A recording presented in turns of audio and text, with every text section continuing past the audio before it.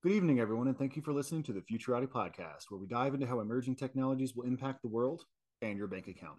I'm Trent Fowler, and my co host and I, Thomas Frey, are futurists, keynote speakers, and consultants with decades of experience in analyzing emerging trends and communicating them to audiences all across the world.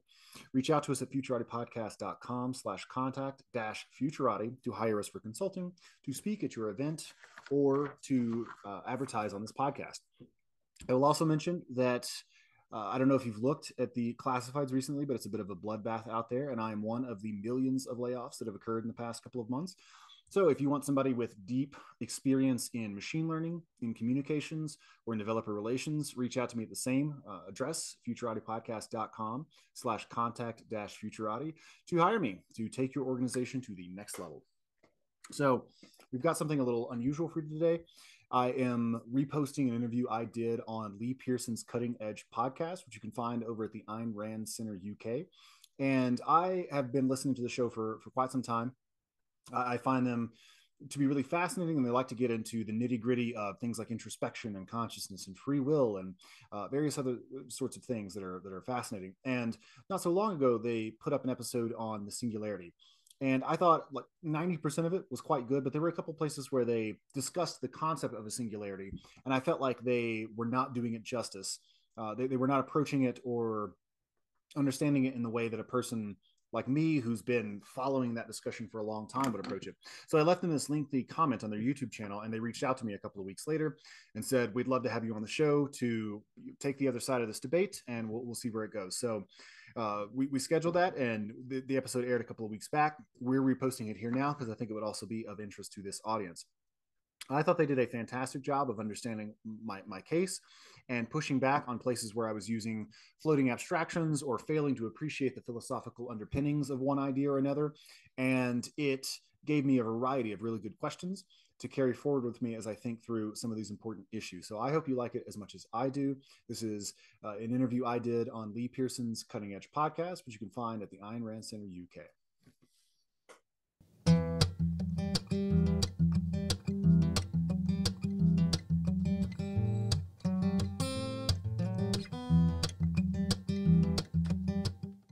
Welcome to the Cutting Edge with Dr. Lee Pearson and Dr. Robert Stubblefield.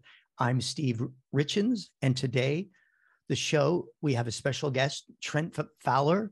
Trent, is an author, a futurist, an engineer, also the co host of the Futurati podcast. Our topic today is Are we approaching a technological singularity?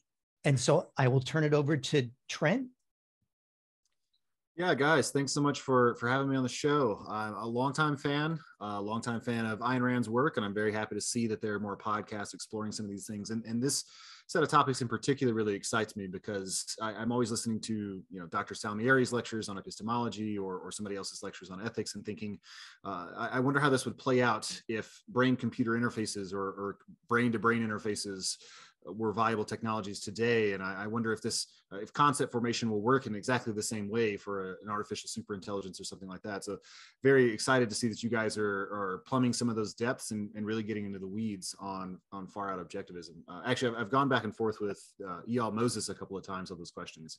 I would read some science fiction book and reach out to him and say, well, how does objectivism answer this? And we'd exchange emails. So glad to see that there's a more public platform where those conversations are happening. So a little bit about me.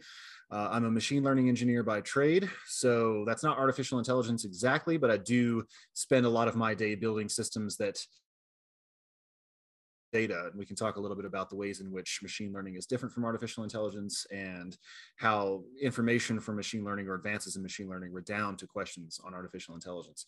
And I co host the Futurati podcast, where we talk about everything from blockchain technologies to quantum computing to uh, bleeding edge neuroscience. Last night, I, I finished up an interview with a, a gentleman who thinks about neurotechnology and the laws. So, how do you set up regulatory frameworks for uh, the day in which it'll be possible to read information off of people's brains? What, what does a right to privacy look like in those circumstances? So, you can find that anywhere you get podcasts or check us out on futuratipodcast.com. And the impetus for having me on the show came about because I was listening to one of your episodes on life extension technology and the singularity. And I felt like all of it was very, very good, but I did not recognize in your d- definition or discussion of the singularity any of the the ideas that actually come from the community of people who are really into that. And I'll just issue the caveat right now in the beginning that I, I, am somewhat out of date on that. So about 10 years ago, I was living in South Korea. I had become fascinated by what they call existential risk. So the, the possibility of human extinction and the, the various ways in which that could come about and how you could mitigate it. And one of the more interesting ones to me was the possibility of a, uh, either an indifferent or an actively malicious artificial general intelligence that was much, much smarter than human beings and could outfox us in various ways. Uh, so I, I didn't want to be a dilettante. I really got into the math. I got some textbooks on discrete math and started teaching myself those things and doing a lot more Python programming and really trying to get into it. And I say all that just to say that you know 10 years ago i was very very up to date on it. I was arguing with computer science professors and, and going back and forth with people posting on forums and all that.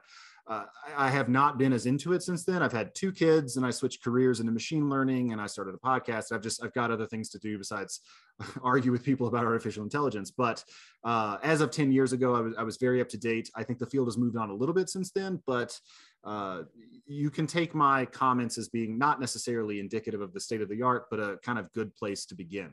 So the, the main contention that I had with, uh, I believe it was Dr. Pierson's statement, was defining the singularity as being a, a, time in which there's infinite knowledge. And I didn't re-listen to the episode. This is all from memory. I may not have that right. And I, I've never heard anybody define it that way. And I've never heard anybody talk about it in a way that would lead me to believe they had that in mind. Uh, as we were talking about before we started recording the show, the term singularity has kind of become so overloaded that none of the really rigorous people use it anymore. There's more of a move towards talking about, for example, an intelligence explosion, where a, an algorithm will recursively self-improve and each successive iteration gives it more ability to modify its underlying source code, which raises its ceiling even higher, and then it sort of gets out of hand and it becomes intelligent very, very quickly. Uh, and there's lots of debate on over how quickly that could possibly happen. We can get into that if you like. Um, for that reason, there, there's fewer people who actually talk about the singularity. Uh, usually, you'll either talk about the intelligence explosion or, or some other related concept that's a little less overloaded. But that was, uh, I, I love the conversation. I thought all the stuff on life extension was great. I thought, you know, many of your comments were very good. But I figured, you know, given that I was really involved in the debate at one time, I'm a machine learning engineer, we could get on here and, and, and talk a little bit about the singularity or the intelligence explosion, as you guys would like.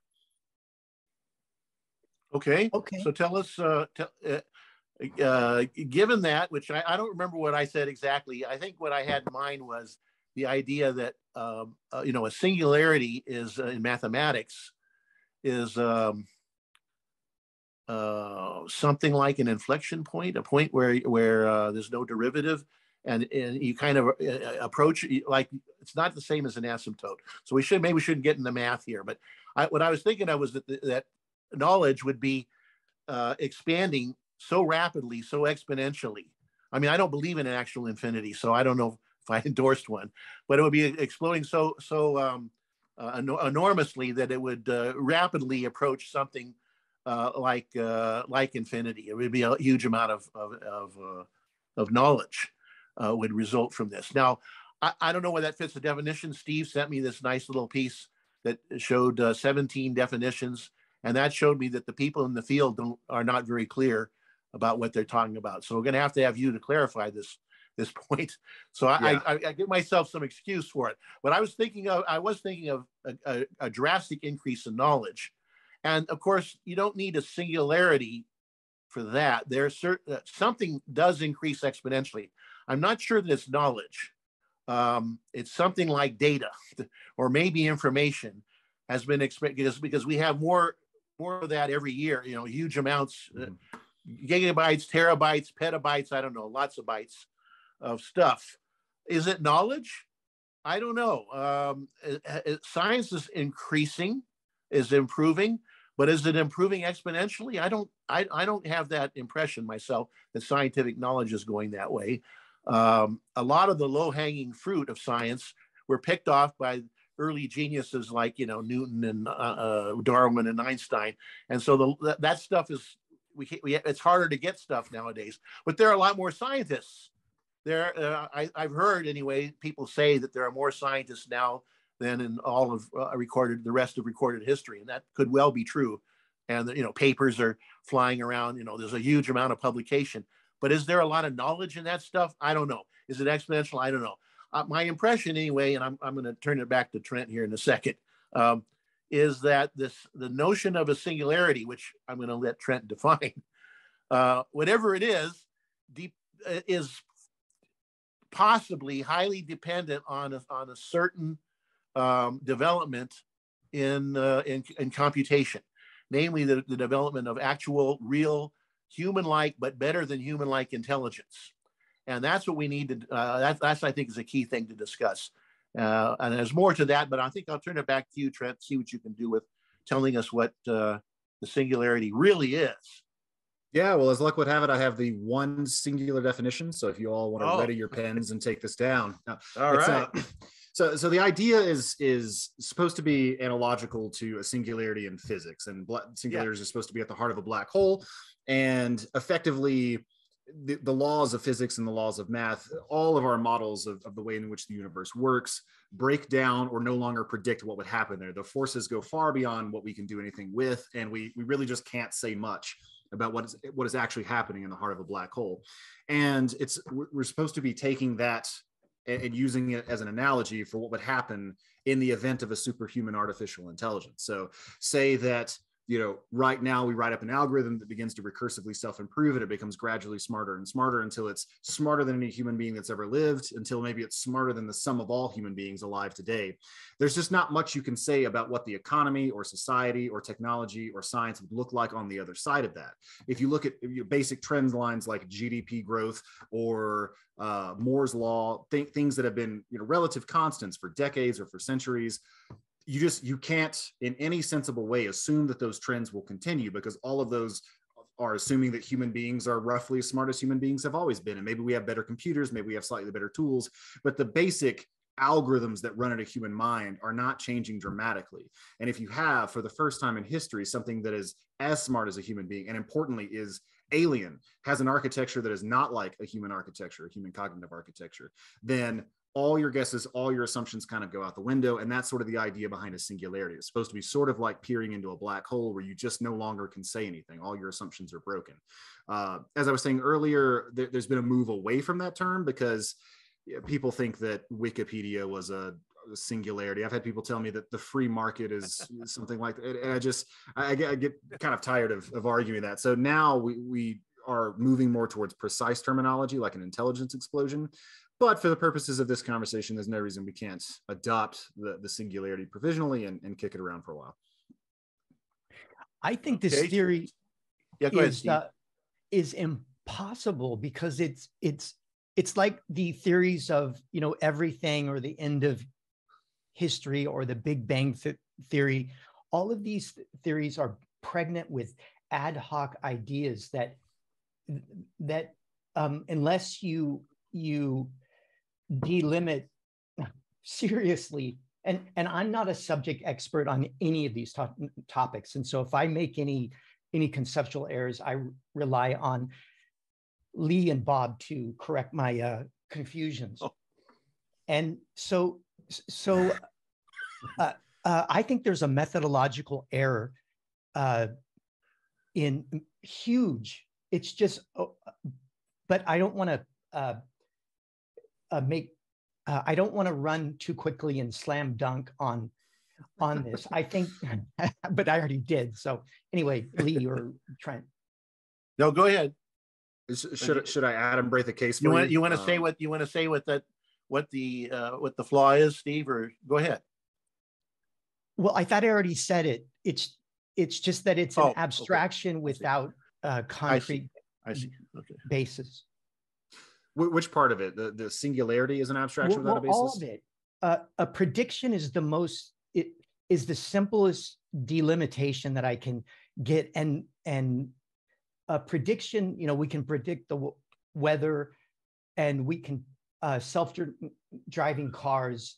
You know, when you take your hands off a Tesla, you know you can see that something is going on there, and you can see your smartphone do all of these and, and chess playing like Lee mentioned earlier. But there's not much when you break down the these concepts like accelerating, you know, exploding combinatorial explosive, you know, it's just recursive self-improvement.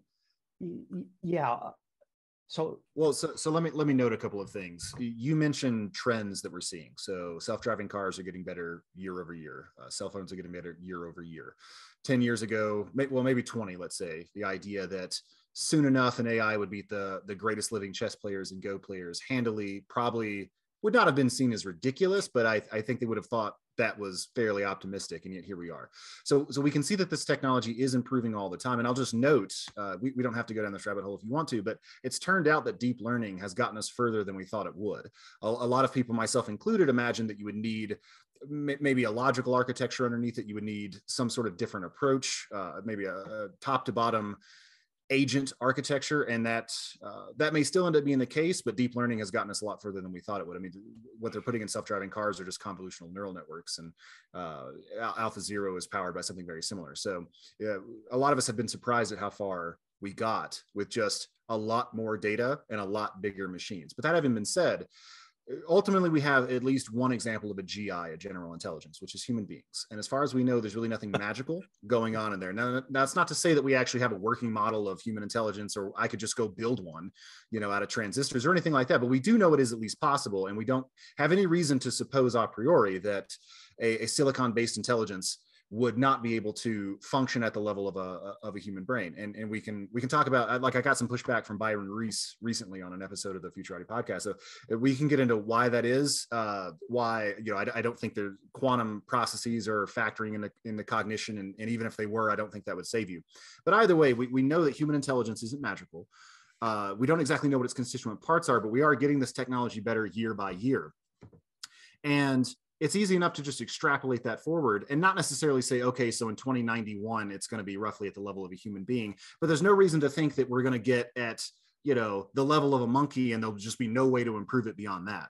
And as far as the recursive self improvement goes, and this is part of the linchpin of the argument, it's one of the reasons to maybe be sort of afraid of it, is if you've got a silicon based intelligence, it will, it will, uh, unless you put up special safeguards, be able to access its source code and directly introspect on the processes that are driving its intelligence in a way that human beings can't. So when I am able to come up with a good analogy for an idea or I conjugate a, a verb in, in Russian correctly or whatever, I, am not able to look in on what it is that's actually doing that. I, I, can sort of indirectly train it by focusing more or by optimizing my environment or taking smart drugs or drinking a lot of coffee or getting better sleep.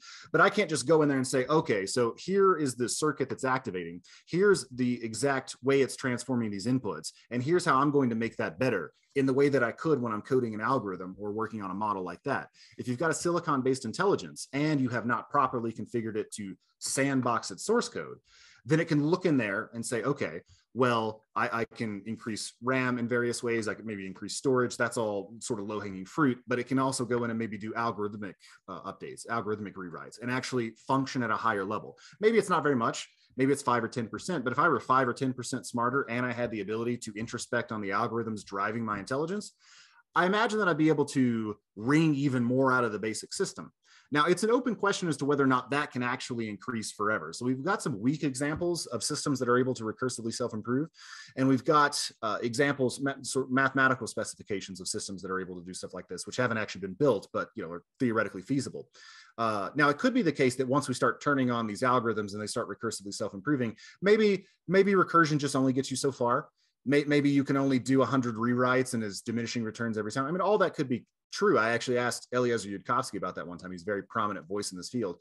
I said, well, how do we know that this recursion process is just going to be able to increase forever? Maybe the algorithm gets you know, maybe it's smarter than the smartest human, but not so dangerous that it can fight all of us. And he said that could be the case. I'm not willing to bet the future on it. So it, you're you're right to say that you know, some of it's very provisional. There's wide error bars around a lot of it. There's probabilities attached to a lot of it. But between the fact that human intelligence isn't magical, we can see these trends increasing. We have no good reason to think that recursive self improvement is impossible. I at least think it's worth thinking about. Okay, that was quite quite nice, quite excellent. I'm going to try to give you at least one or maybe two reasons why uh, why recursive, what you call recursive self improvement, will is limited, will not just go on forever. let me just try to do that. Uh, you're uh, quickly. I'm going to be as brief as I can here. Uh, I, I, imagine you're familiar with with John Searle's Chinese room argument. I'll bet you are, because everybody's heard that. I have a better version, or I think I have a better version of that argument that I came up with as a grad student way back in prehistoric times. Let's hear Probably it. before Searle, but see, I didn't publish it, so that's what happens. You got to publish your stuff, I guess. Anyway, yeah. so here's what happened. I like mine better because it's more, it's more. Uh, you can con- you can concretize it better. The Chinese room is is so like most thought experiments is so impossible that people come up with weird. There, there are all kinds of weird answers to that that I don't think are really good, and I'm not sure they would apply to my version. So let me give it to you briefly. When I was a grad student at Cornell back in uh, uh before there were um, um, you know real computer programs, you know there were some. You know they were they weren't very good. Anyway, back in those uh, in those ancient times, a woman who I can't remember her name, sorry, from Carnegie Mellon, the the holy temple of cognitive simulation programs in those days, at least, came to Cornell to describe her computer program for simulating um, first year physics problem solving behavior. This program would solve, you know, mechanics, the kind of basic, mostly mechanics, maybe electricity, I don't know, the basic problems you get in, in first year physics course. So she told, explained this. Afterwards, uh, uh, in, in, the question period, I, I put up my hand and said, well, couldn't somebody who knows nothing about physics whatsoever, knows nothing at all, has no understanding of physics, sit down and with the hand simulate the program, you know, work through it on paper and come up with the results and solve all the problems that you can solve with this program, every problem, without understanding fact one about physics. And therefore, this has nothing to do with human, uh, with the understanding of physics. Even if it works, it's doing it by a way that is instead of intelligence. It's, it's a different process than intelligence. And I think that's absolutely the way all programs work. I don't believe I, even though I love artificial intelligence, as I mentioned to you in the, before the show started, I like the, everything that they're doing because it they, they tend towards the, uh, showing that all automatic activities of organisms do not re, the active automatic activities do not require consciousness, and that fits my theory of consciousness because I believe consciousness is all about volition. So I'm, I really like to see those Boston Dynamics robots and you know uh, Alpha Zero and all that stuff. I think is great, but it's not intelligent. What Alpha Zero does, and if I may switch over to that for a moment, um, it can beat me, no no problem. It's it's in fact it's so good that it's just about as much better than the world champion in chess as the world champion is better than I am, which is a lot. So it's really it's it's really quite good that thing. Okay, it's good at but like all such programs, it's fragile. Uh, you know, you change things a little bit and it doesn't perform. Even there are even some chess positions that you can set up that it doesn't do very well on um, because it's it, it, because it doesn't have any. I would I would argue it has zero conceptual understanding, none whatsoever. It doesn't know what a rook is. It doesn't know what a weak square is. It doesn't know the conditions under which you, you know, the general conditions under which you should launch a kingside attack. It doesn't, you know, it doesn't know any of that stuff. Has no, no, none of that at all.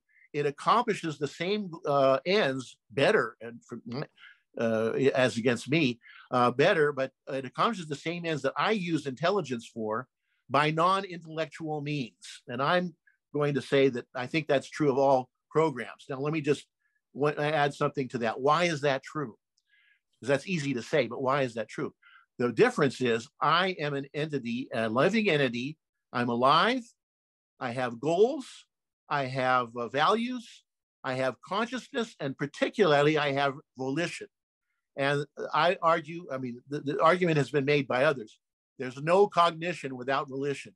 You can't actually be objective. Uh, the, the process of being objective, of objectively acquire, uh, acquiring knowledge, requires volition. Deterministic entities cannot do so. I'm gonna, I'll just give you the, a really brief version. You may know this argument. It's been around in philosophy since Epicurus, and uh, but I'll give you the brief, uh, uh perhaps best briefly described by example. Um, uh, in, in the crude, crudest forms of the arguments of deterministic arguments in crude Marxism, your beliefs are just a function of your economic, uh, you know, the economic conditions of your social class. That's what they argue. Well, all right, they, they don't see that that argument applies to their own beliefs. Their own beliefs are nothing but the results of the economic conditions. In other words, they are forced to believe what they believe without reference to the actual state of evidence. In other words, they can't be objective. And that's the same with the Freudians that believe that you are your beliefs are the results of instinctual drives plus toilet training or whatever. I'm not up on the latest uh, uh, psychoanalytic uh, stuff, but anyway, again, the same. It's the same problem. Uh, if that's true, that would apply to the psychoanalyst, to Freud's and the other psychoanalyst beliefs. They're just the results of instinctual drives, which are irrational, according to them, are necessarily irrational. Or behaviorism that says everything is a matter of, depending on the version, they word it differently, but you know, it's contingencies of reinforcement, how you were rewarded and, and punished. They don't use those words, they don't like to use, but that's what it is. Anyway, how you were rewarded and punished rather than the evidence that's the problem. Deterministic entities, unless you were determined by logic or by you know by the evidence and logical examination and we know that's not true because human beings make mistakes. That is a fact. So we know we're not uh, uh logically determined by logic. Uh, uh, otherwise, determinism cannot uh, arrive at objective any kind of objective knowledge. So it's self-refuting, and that problem comes up with the computers. Uh, the I guess the easiest way I can put it I, I think this is right. Any, of course, uh, machine learning uh, has a lot of self-correcting built into it, but you can only self-correct. A machine can only self-correct in accordance with the program. We and if there's something wrong with the program, uh, as far as the self-correcting aspect, it can't really correct that, or you can't count on that. We humans can go beyond that. We we're not algorithmic. We can go beyond any program, and we're able to self-correct. That is our uh, one way of putting our advantage. And I would say that the current in current AI, there is nothing even approaching that. There's not even the slightest hint. When, uh, uh by the way, the woman at the, when when I, uh, she answered my questions, she said, "Well, this is the first step." Uh, and I, I was thinking to myself, I didn't actually say this. Was, uh, the uh, philosopher Hubert Dreyfus came to mind, who wrote the book "What Computers Can't Do," and and and uh, one example he or parallel he gave is it's sort of like saying that when you climb a tree, that's your first step to getting to the moon, which it isn't.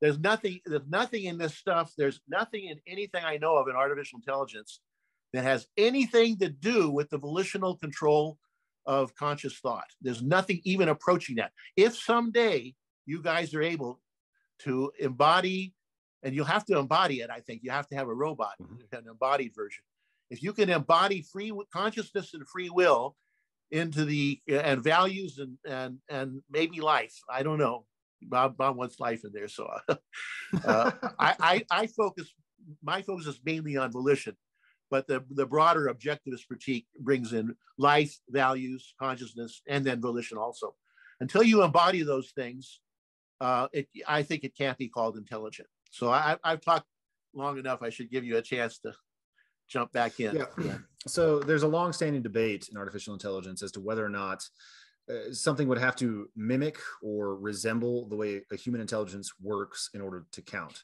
So Alan Turing famously posed the Turing test, uh, a situation in which uh, a interlocutor couldn't tell whether or not he was interacting with a machine or a human being if he's interacting with one of each and can't tell which is which uh, as a test for human level intelligence. And almost immediately that came under a fair amount of scrutiny because it's not clear that what you actually want is something that is able to act like a human would act or Im- imitate a human any more than you want an airplane that is able to imitate the way a bird flies uh, or a submarine that looks like uh, like a fish. I mean, does a submarine swim? Well, not really, but I mean, not not for most concepts of swim, but you can kind of see the, the problem I'm gesturing at. So uh, just just to plant that flag there and let you know that that that's a long-standing issue. It's it's been well known for a long time. I tend to come down on more of a functionalist uh, position, so I, I, don't much care how it works. If it's able to you know outsmart me and play the stock market and uh, make appointments or you know convince people to donate money, that's already smart enough to do a lot of the stuff that I do. It's, it's worth thinking carefully about its capacities and, and, the ways in which it might threaten me in the future.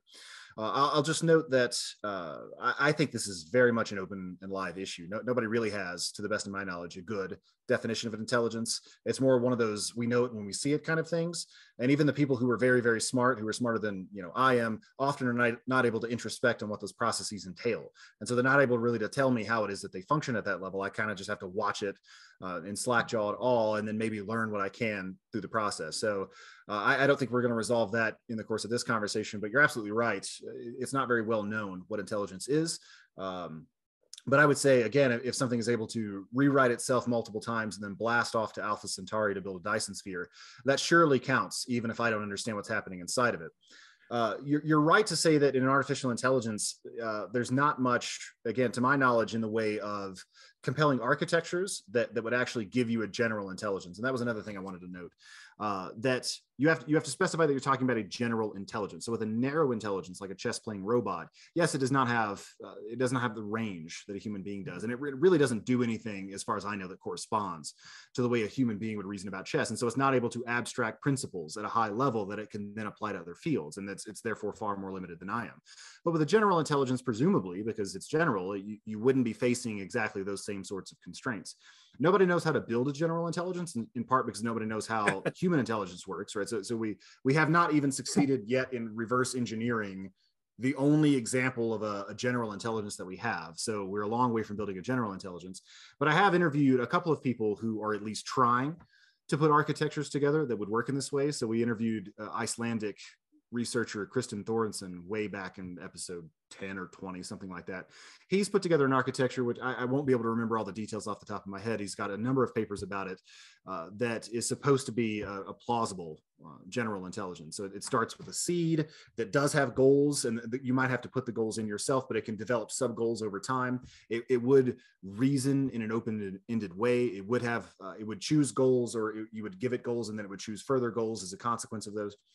And I would also note, uh, and I'm just kind of shotgunning you because you shotgun you shotgun me, so I'm gonna I'm gonna shotgun you. Um, Steven Omohundro is a, a, renowned artificial intelligence uh, pioneer, and he's got this idea of drives. Uh, drives are goals that manifest in the process of recursively self-improving because they're necessary for accomplishing a wide variety of other goals. So, for example, not being turned off or not being killed will probably be important to uh, robots or AIs or algorithms in the future because whatever terminal goals they do have cannot be serviced if they have been turned off. And there are others that he proposes as well, such as uh, gathering you know more resources or recursively self-improving, becoming more intelligent because the smarter you are, the better you can accomplish most goals for a pretty wide variety of the space of possible goals. Um, all of that, you know, to Steve's point, is you know fairly speculative. We're t- we're talking papers. We're talking, you know, maybe there's some Python code written. There's maybe some theorems involved, and we're a long way from having, I think, a general reasoner. But I, I would just note that it doesn't necessarily have to function function in a way that you would recognize to count as intelligence, at least as far as I'm concerned. And there are reasons to believe that if it is improving itself, it, it could become dangerous relatively quickly. Um, so it, it's worth thinking up front about how that might play out. Hello, this is Trent Fowler, co host of the Futurati podcast. One of the most common pieces of marketing advice I've come across is to know your audience and give them what they want. One difficulty in podcasting is that it's actually pretty hard to do this. None of the major platforms give us any way to reach out to you, our listeners, to find out what you enjoy about the Futurati podcast and what you'd like to see done differently. So we've decided to record this commercial and ask you directly to reach out to us head over to futuratipodcast.com, go to the contact page, and drop us a line. Tell us about your favorite and least favorite episodes, what you'd like to see us cover in the future, and anything else you want us to know. We produce this show for you, and we want your advice so we can make it even better. Thank you. Um, I think you're right. It's going to be a something, but functional, functionalism, or any kind of me- me- mechanism when you uh, a program cannot go beyond the program as lee has said before that uh, what you imbue in the it, it there's no cognition without volition. Perhaps a super uh, a ai could figure out that that's iambic pentameter uh, uh, lee's uh, ingen- ingenious statement there. Uh, but you can't get you can't get something that's not there. There's no volition in this pro- program, but but there will be some, something. There is something there. Um, we have a couple of and and and sorry for for sh- shotgunning uh, you. It's just there's a lot to say, and yeah, that's why we have Clubhouse. But I have a couple of I, I have a super chat and a question. Okay, James. Let's take uh, it. Elliot. Okay, James, uh, who's been on the show before, he, he says, Have you noticed connections between machine learning and Rand's theory of concepts? If so, could you give a few examples of such connections? And then one more. There's a super chat from Dylan Fritz. Fritz. Dylan Fritz, thank you for $10. Okay. Did he have a question? No, there's no question. Oh, okay. He just he just gave so us money. Got, okay. So go yeah, ahead. So that's that's um, you, that's for you.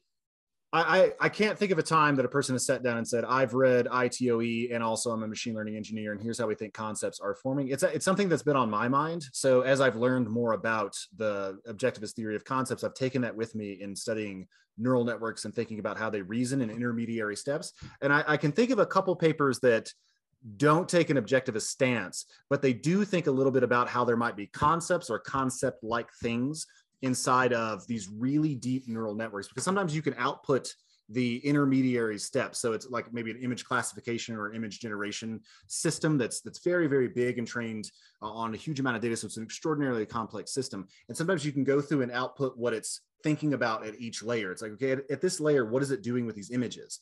And sometimes you can see things that aren't exactly concepts but they're sort of like abstractions. It almost seems like it's it's uh, it's got a vague picture of a face. It's got like sort of an abstract version of a face, or it's got an abstract way of thinking about lines, or it's got an abstract way of thinking about vertices.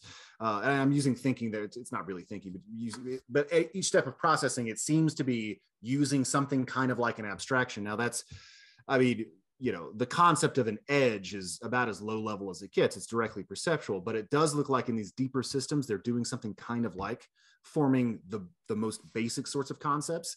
And you know again I, I, don't know anybody who's an objectivist who's also thinking about this but it is something that's been on my mind. And there are people who are who are beginning to take that step of thinking about how concepts might be forming in these big systems. I actually know a couple of guys. Now i don't know them very well but i know a couple of guys who are in the field broadly. I don't know if they define themselves as machine learning uh, people exactly, but in the, at least in computer science, that are trying to make th- th- this kind of connection. But I think they're up against exactly what I was talking about before. And I, I was more or less, I admit I use the term intelligence, I think, as you, you know, you define it in terms of intelligence.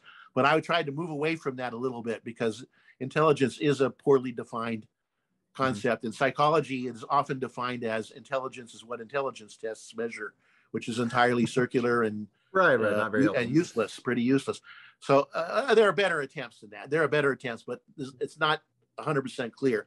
I I framed it more mainly in terms of conceptual understanding and objectivity, and those are two things. I'm when I'm claiming I'm claiming that they're not just impossible by virtue of we haven't come across the right programs or that someday somebody might figure they're impossible in principle I think that my argument is they are impossible in principle to any algorithmic solution.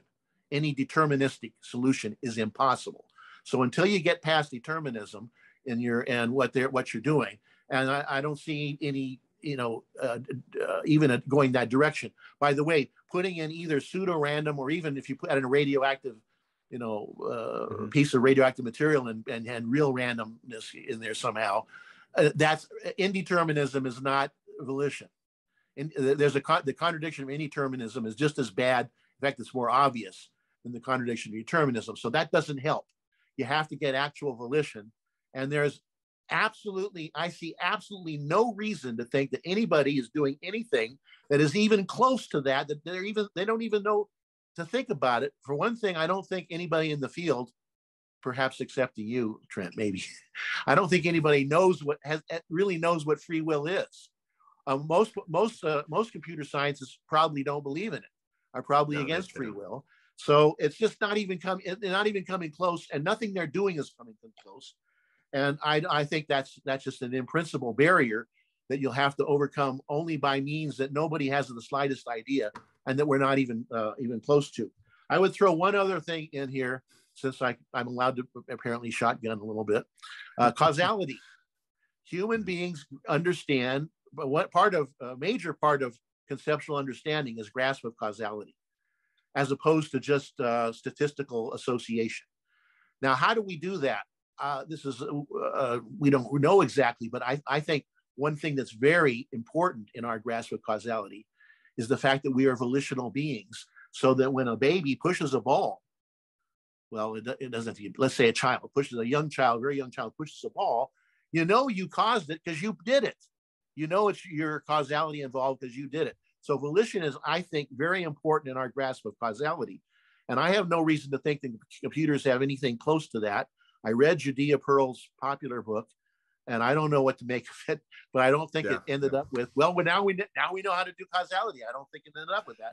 And again, I don't personally, I don't think uh, that's going to be solved in the computer field until and unless someday in the future you create living goal-directed consciousness, conscious, and especially volitional um, entities. And good luck. I, would like. I, would be interested to see that, uh, but I don't think that's happening anytime soon. So that's my, I guess, my main argument against the singularity coming up anytime soon. You know, what's that guy? How do you pronounce his name? Vinge. V I N G. Vinge. Vernor Vinge. Yeah. We, we are we are pretty much at the edge uh, of the of his prediction. He gave like 20 to 40 years, and that was about 40 years ago. I think next year, you know, we're coming up to, and I I'll bet you right now that his prediction is just will be falsified next year. and I don't I'm not looking for it anytime really soon. Now I don't know.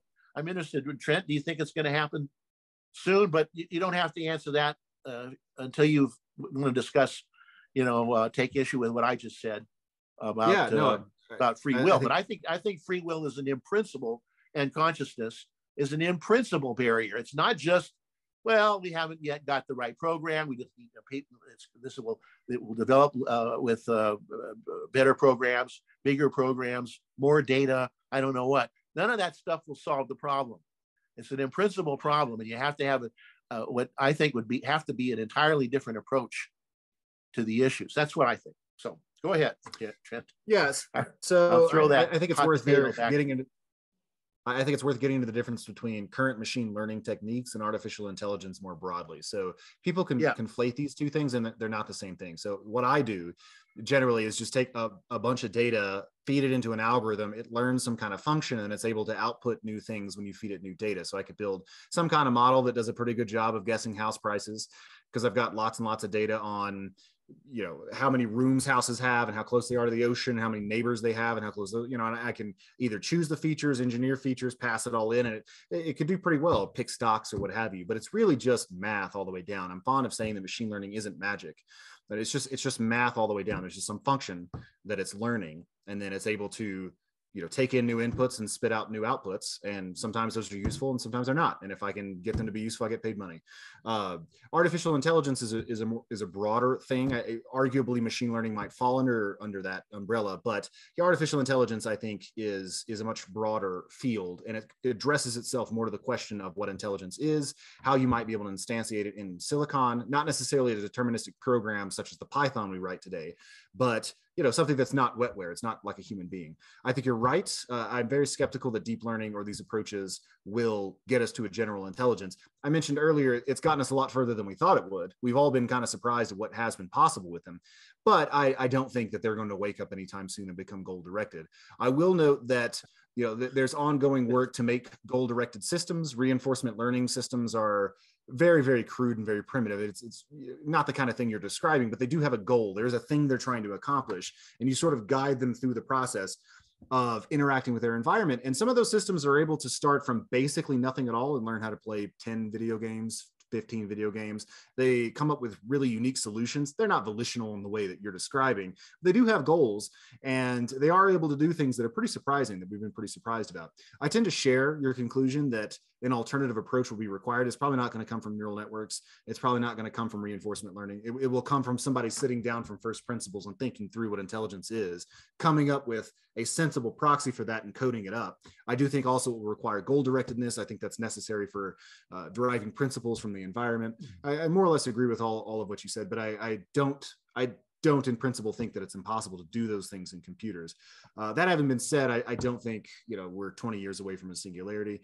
Uh, we're probably much further away from it than that, but uh, you know there can be discontinuities in the development of these fields. So uh, the hope, and by the way, I, I never even mentioned I never even mentioned why it's worth talking about. So there are people who are trying to think seriously about the ways in which you would get a recursively self-improving agent to have an ethical architecture that's consistent with what you know human beings would want. So that if you're dealing with something much much smarter than you are, it doesn't look at you as mass that it can repurpose for something else. It does value you in some way, or it's at least willing not to kill you and, and hear your arguments. Um, that's something we can get into if you want to. But the, the whole impetus behind the discussion is to think about the ways in which you might have a machine that would make a super intelligence not as dangerous uh, as it otherwise might be because it's not clear that if you just set it loose and let it converge on whatever goals it has that what comes out of that process will be something that we we can live with or survive with. Are you enjoying this episode of the futurati podcast? If so please like it Give the show a five star rating on Apple Podcast, Spotify, or wherever you get your podcasts, and share it with your friends.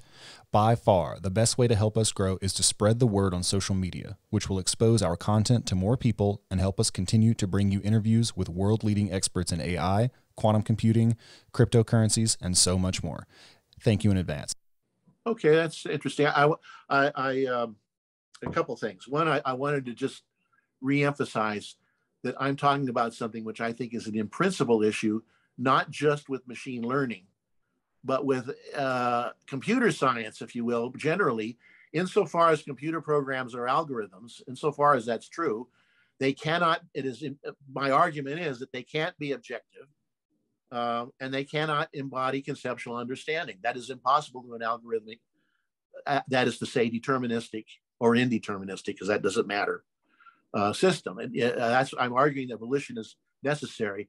And I, I'm, you know, again, we're, if they if somebody can figure out how to give a mechanical system consciousness and volition, and I'm going to throw in life and values to satisfy Bob, and you know that's true. But I, I, I focus on I have my reasons for focusing on consciousness and volition, but those are all true. You're going to have to have all of those things. And good luck. I mean, I, I, I wouldn't mind seeing it, but I don't think it's coming anytime soon. And then I wanted to just uh, go back to one thing I forgot to mention again. Uh, I forgot about uh, that was a key concept. I'm always looking for key concepts to activate knowledge about. That's what I teach. I teach key, key concept thinking.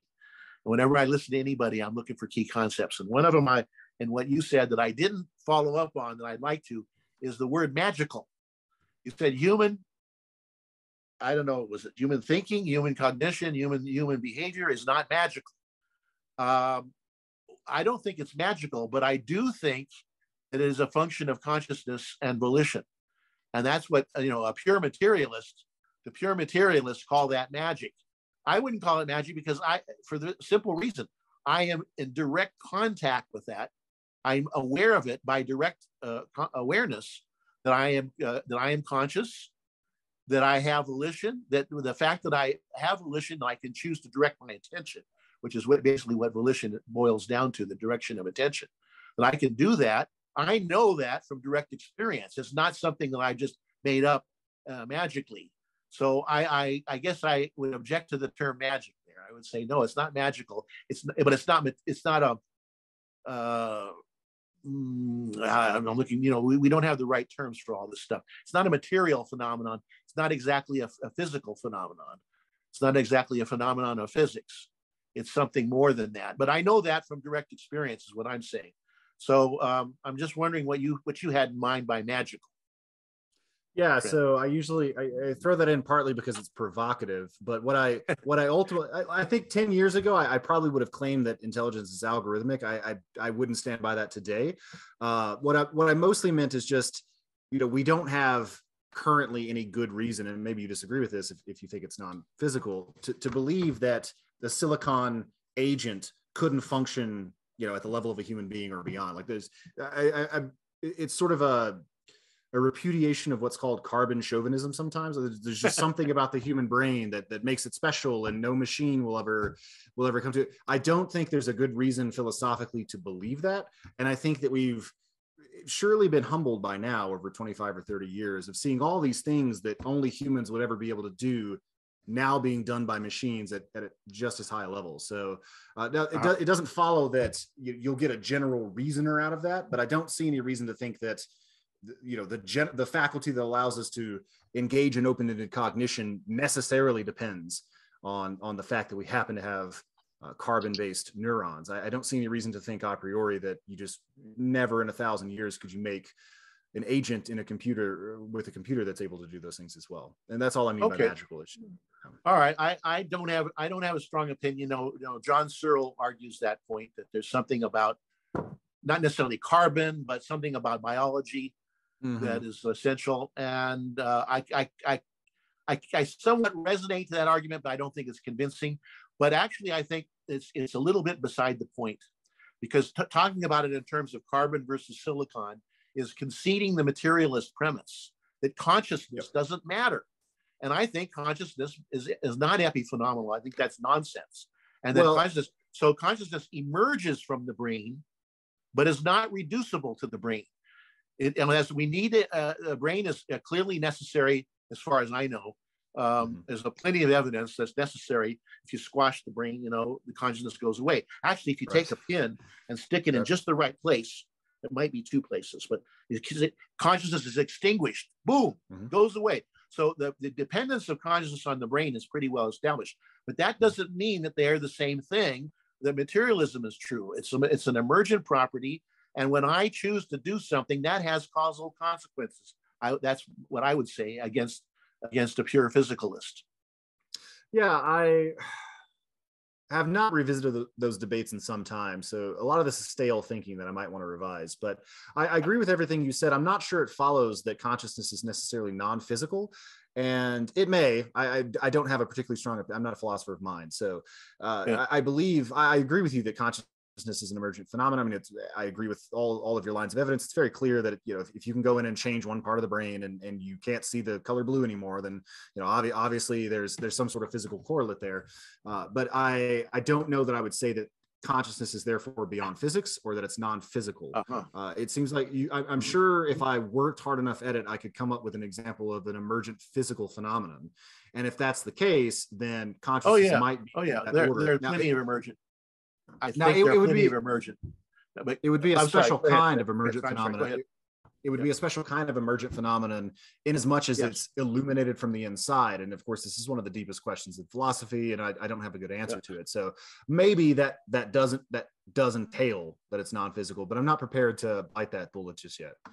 Okay, I'm going to bite it. I'm going to bite that bullet unless now, I, now I do think consciousness consciousness is important. It's obvious. It's causally efficacious. I d- I don't believe in uh, epiphenomenalism. That's always struck me, even as an undergrad, that struck me as silly. It's like, well, but I can sit Good. here and Good. you know, like think think back to a, a, conversation I've had and get angry, right? So that's like, you know, it, it's consciousness directly influencing the underlying physical systems. It, it seems pretty fairly. I don't. I actually don't think that example works myself, but that's a whole other subject. But let me let me uh, just deal with the uh, physicalism, which is a tricky issue because you know when you're talking about physicalism, whether something physical, you have to know what what are you talking about when you're talking about physics. Are you talking about something that exists now? Are you talking about everything that we might discover in the future that we might call physics? It's a little hard. But if we if we refer to physics as here's here's my simple argument. I think it's uh, I I use free will for all kinds of stuff. It, it's a very powerful idea. Uh, to use uh, in a lot of arguments if you hold to it, if you believe it, if you accept the validity of free will. Anyway, in this in this case, um, if we take physics to mean the principles that we learn, uh, the principles uh, governing the behavior of matter and energy that we learn by studying inanimate matter and energy, and that we and and I'm going to limit it to what, more or less to what we already know, uh, at least loosely, and say uh, under those conditions, uh, with that being the, what we're talking about, uh, I think we've done pretty well at, at uh, reducing phenomena of, of uh, life other than consciousness to physical processes. I think you know molecular biology has pretty much reduced that. Uh, maybe that's arguable, but I think that's true. But consciousness, however, is another uh, another matter, and then it's another matter. There, there, are two kinds of arguments. Some, some of them had to do with conscious experience, which I'm not going to go into. You probably know the uh, Mary, the neurophysiological neuro, neurophysiologist. That's a pretty good thought experiment. But I, let me leave that one aside and go for my, uh, you know, the stuff that I really like, which is volition. Uh, the laws of physics basically uh, are are mathematically expressed as differential equations, and the differential equation has an input and a definite output. Let's not worry about Schrodinger and and quantum stuff, which I think just sure, makes it worse. It doesn't work help anyway, and also makes things worse as far as determinism uh, uh indeterminate. But uh, not more worrying about that. You have these uh, differential equations. So physics is de- basically deterministic. Again, ex- I mean, accepting uh, quantum, and I, I, I don't think that I really don't think that matters. Volition is not deterministic.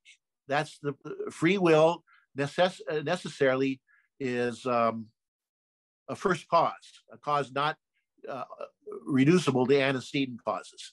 That being the case, there's no possibility of it of it being explained by physics unless you expand physics to mean what I what I used to think when I was a freshman physics major. I quickly changed, you know, I ch- changed over to psychology, but but I I thought like all freshman physics majors pretty much that physics is a study of everything, but it's not. It's the study of physics, physical stuff. If you expand it to the being the study of everything, then it is tautologically true. But otherwise, if you have any any sensible meaning of the term, uh, consciousness and volition do not come under the purview of, of physics because of because of determinism, basically. So that's uh, basically how I would dispose of that. Uh, do you need a dynamic and knowledgeable speaker for an event?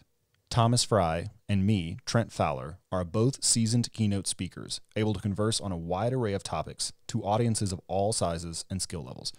Go to the contact page at futuratipodcast.com to book Thomas or myself today and let us apply our years of experience in public speaking to make your event a smashing success.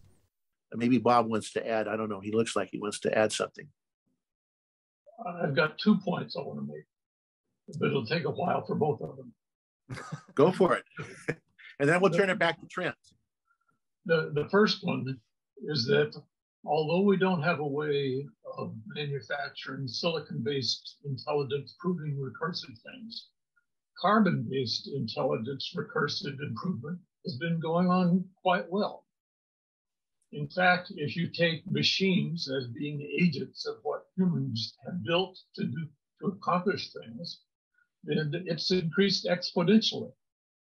We have recursively been able to solve chess problems that couldn't have been solved before. Uh, been able to predict other things that couldn't be done before, and we're doing them using things that the human carbon-based consciousness has created. And we all know that it's possible to create other other human, other carbon-based intelligence. Made a few of them. Uh, so that, that was the first point. Uh, the second point is I think we ought to go into where do you come up with your understanding of the of the phrase or the comment com, concept intelligence. If you think about what Ayn Rand had to do in order to prove her objectivist ethics, she noted you can't even have the concept of value if you don't know what life is. Mm-hmm.